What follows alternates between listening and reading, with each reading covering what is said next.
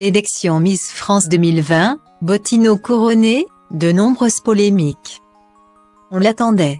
La grande messe de la beauté française a été dite ce samedi 14 décembre au Dôme de Marseille. Avec sa féerie habituelle, ses nombreux fastes et ses paillettes.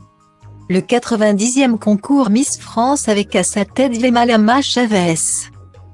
Miss France 2019 a vu défiler les 30 prétendantes au titre. Elles ont proposé un très beau spectacle sur le thème Le Tour du monde des Miss. Finalement, c'est Clémence Bottineau, Miss Guadeloupe, la grande gagnante. Un grand moment qui a fait plaisir aux téléspectateurs et les internautes. Mais qui n'a pas manqué de susciter comme d'habitude, de grands débats. La Miss Clémence Bottineau n'oubliera pas cette soirée de sitôt. Jeune femme de 22 ans étudiante en histoire de l'art à la Sorbonne de Paris, après un bac scientifique décroché avec la mention très bien. Celle qui affirme avoir longtemps hésité avant de se lancer dans l'aventure Miss France. Pourra remercier son audace et sa témérité. Ayant raflé les votes du public et les voix du jury présidé par Amandine Henry. Capitaine de l'équipe de France de football, Clémence Bottineau aura séduit tant par sa beauté, que par son éloquence. Elle a terminé première au test de culture générale des Miss, avec une note de 17, 5 20. Clémence Bottineau devance ainsi Lourua, Miss Provence et grande favorite du public marseillais, deuxième. Miss Tahiti, troisième, Miss Bourgogne, quatrième, et Miss Côte d'Azur, cinquième. C'est la troisième Miss Guadeloupe après Véronique de la Cruz en 1993 et Corinne Comment en 2003, a décroché le jackpot. Ce couronnement, la future conservatrice du patrimoine a décidé de le placer sous le signe de la lutte contre l'isolement des personnes âgées. Ces mémoires vivantes qu'elle est habituée à rencontrer pour ses études. Elle a d'ailleurs à cet effet, rendu publiquement un hommage touchant à ses parents et aînés. C'est une victoire dédiée à la France entière et particulièrement à la Guadeloupe qui réussit un joli doublé. En effet, ce même samedi 14 décembre, Ophélie Mézineau, Miss Guadeloupe de l'an dernier, avait été élue première dauphine du très prestigieux concours Miss Monde. Un vrai coup qui restera marqué dans les annales. Tout naturellement, le sacre de la Guadeloupéenne Clémence Bottineau n'a pas fait l'unanimité auprès de certains internautes insatisfaits.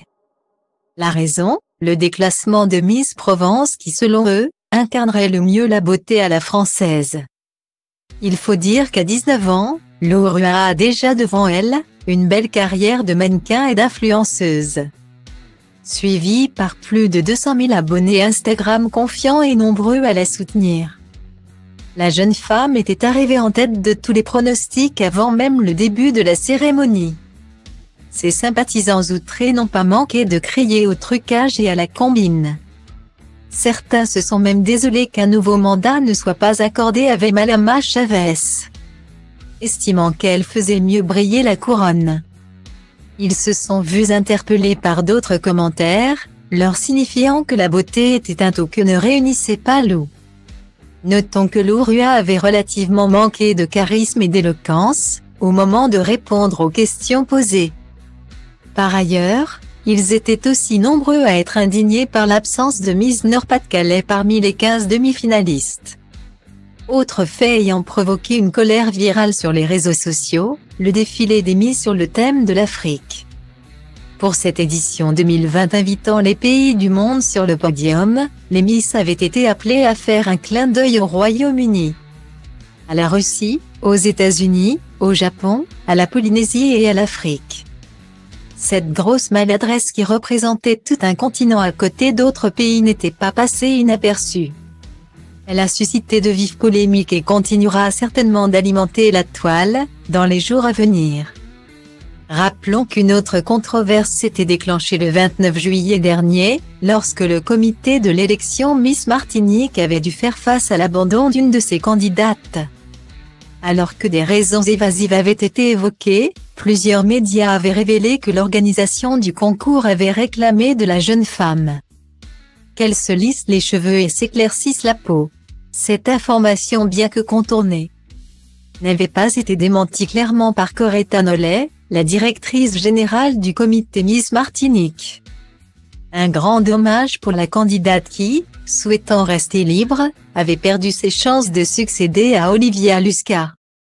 Miss Martinique 2019 et de prétendre à la couronne tant convoitée.